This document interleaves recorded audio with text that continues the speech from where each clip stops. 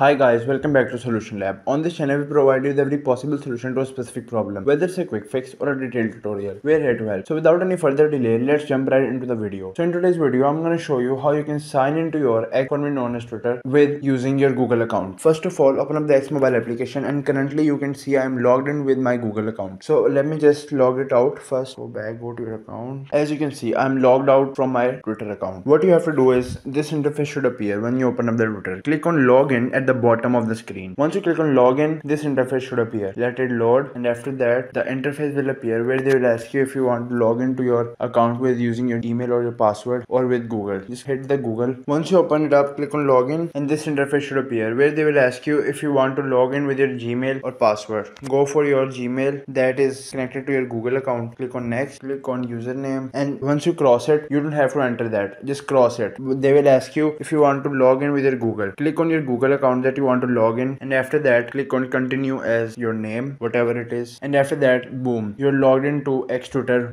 with using your Google account. You just have to cross that interface that will they when they will ask you about your username or Gmail. I hope this tutorial was helpful. If it was please give it a thumbs up and consider subscribing to Solution Lab for more helpful tutorials. If you have any queries or suggestions leave them in the comments below. Till then take care. See you next time